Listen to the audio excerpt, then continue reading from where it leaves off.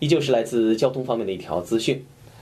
上周呢，位于 Wyre 占地4.4公顷的奥克兰新火车维修站正式启用。这个维修站耗资一亿纽币。今年九月，它将迎来第一节的电气火车。这个维修站专门建造的设施就包括一个7650平方米的维修的建筑，六公里长的铁路专用线，可供28节车厢停放的大厅和一个清洁平台。届时呢，里面的列车可以用吸尘器清扫和清洗。另外呢，还有一个本地操作系统，所以呢，所有列车运动点呢都可以来控制相关的一个列车的运行。